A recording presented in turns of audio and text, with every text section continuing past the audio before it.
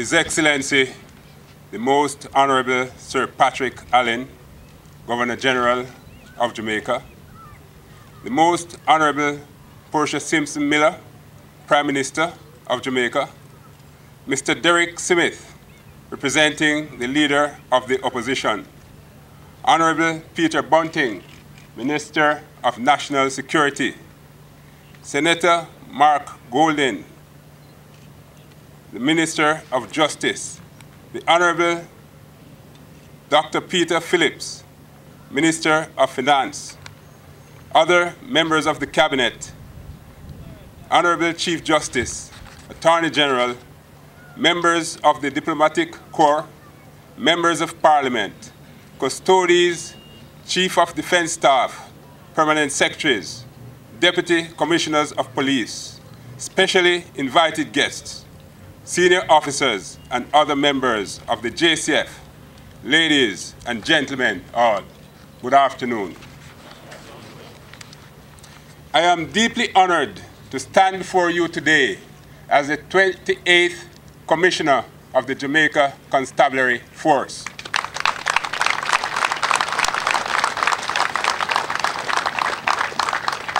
I would like to thank the Police Service Commission for entrusting me with the responsibility to lead the men and women of the organization that I have served for 30 years.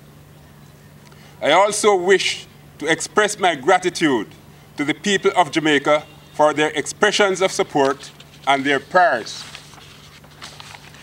I am humbled by the confidence that you have placed in me and accept the outpouring of support as an indication of a national commitment from the people of Jamaica to work hand in hand with the security forces in ensuring the safety of all Jamaicans. As we continue to build a broad consensus around the policing of our society, I will be counting on the full participation of well-thinking Jamaicans. It is only through active collaboration between communities and the police that we can hope to secure our nation. The responsibility for leadership of the Jamaica Constabulary Force is not a job for the faint of heart and I ask you to pause for a moment to acknowledge the presence of my predecessors, Mr. Owen Ellington, Rear Admiral, Rear Admiral Hardley Lewin, Mr. Lucius Thomas, Mr. Roy Thompson, As commissioners of police, you, gentlemen, know only too well the successes and the failures, the victories and the defeat, and the awesome responsibility that has rested on your shoulders. Even as you have led the men and women of this organization, you have also mourned with the grieving mothers who have lost their sons and daughters to violence and the bereaved families of members who have given their lives in service to this country. On behalf of all the men and women of the JCF, I thank you for your service.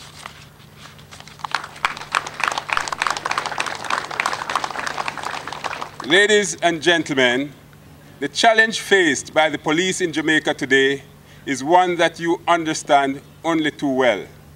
Throughout history, the policing of human society has been fraught with tension.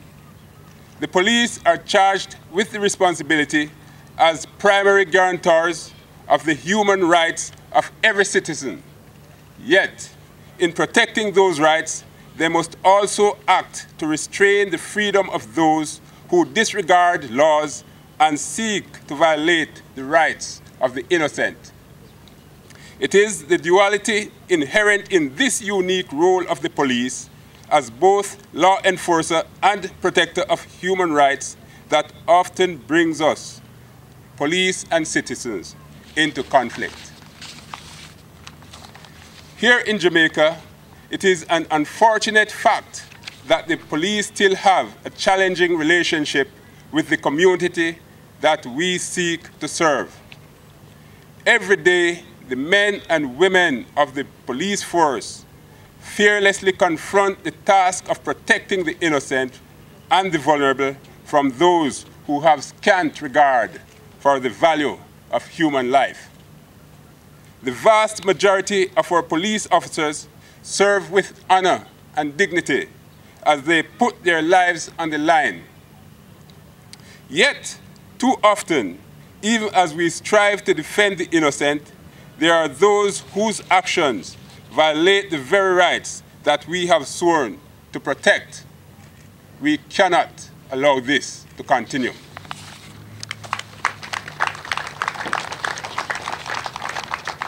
I want to assure the people of Jamaica that under my leadership, the JCF will do everything within its power to respond to your concerns about the conduct of the police.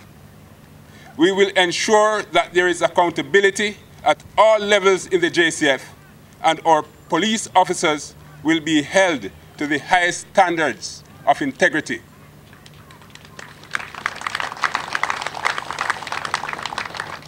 The communities that we serve must come to re rely on the police as the protectors of their rights. This is the only basis upon which we can build a respectful society where there is mutual trust between the people of Jamaica and the police who serve them. Ladies and gentlemen, I understand that concerns about corruption among public officials, and particularly within the JCF, has deep implications for our ability to engender trust and maintain respect for our systems of governance. I give you my personal commitment that under my watch, the JCF will act decisively to remove any member who has chosen the path of corruption. The creation of the new MOCA task force, which combines the best resources of the former MOCA task force and the anti-corruption branch, will strengthen our ability to root out and prosecute those who undermine the mission of the security forces and tarnish the reputation of the Jamaica Constabulary Force.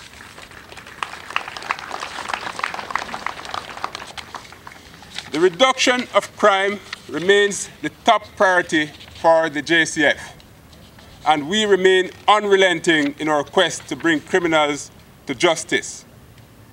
We will never yield to criminal offenders who prey upon the innocent and vulnerable in the society.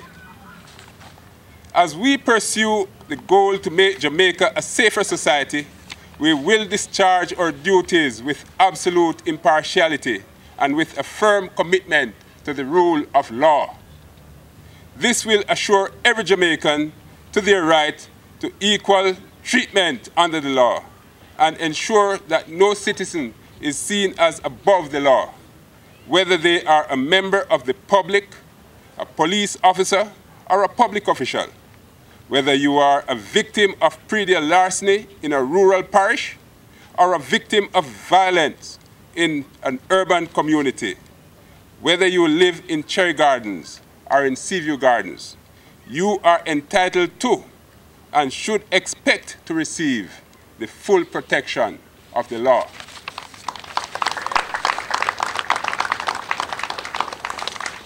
The JCF that we know today has come a long way since its creation in 1867. We have seen the move towards the creation of a more professional force.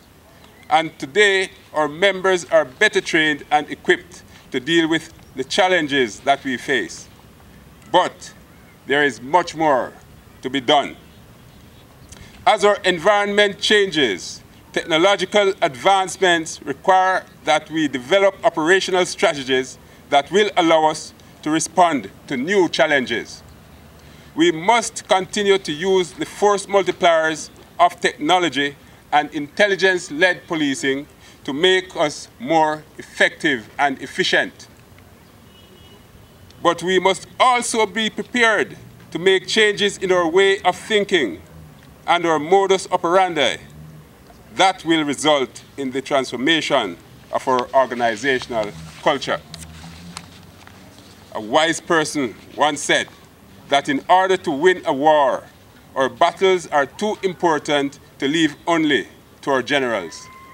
As your commissioner, I understand that each police officer must play his part in achieving the vision and creating a new ethos for policing in Jamaica. It is also clear that we need to move towards policing, not only by consent, but by deliberate collaboration through public engagement. Each Jamaican has a role in maintaining the safety of our society, and the JCF will renew our efforts to engage your support in keeping our communities safe. As part of our commitment to greater transparency and accountability, I undertake to keep you fully informed on major developments in the JCF in the coming months. The JCF maintains primary responsibility for the fight against crime, but we understand that crit crit critical contribution of our many partners is, continues to be important. We will therefore continue to work hand in hand with the Jamaica Defense Force, INDECOM, other law enforcement agencies, human rights advocates, civil society groups, and our international partners to achieve our vision of becoming a high-quality professional service that is valued and trusted by all the citizens of Jamaica.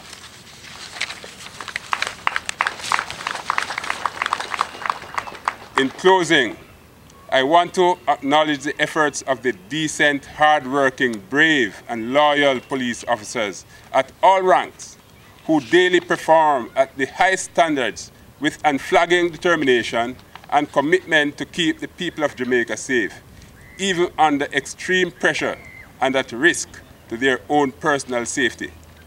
It is my profound belief that our society can join together as a strong and united force to reduce crime and violence and improve the security of this great nation.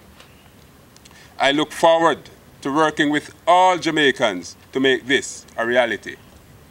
Thank you. Thank you. Thank you very much for your continued support. And may God bless Jamaica, land we love.